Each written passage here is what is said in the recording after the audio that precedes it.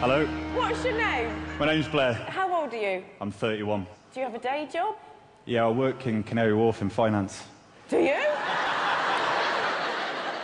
do you think that what you're going to do is suitable for the Queen at the Royal Variety? I think so. It's entertaining. It's perfect variety performance. I think it'll fit in perfectly in there. I wish you the very best of luck. Thank you very much.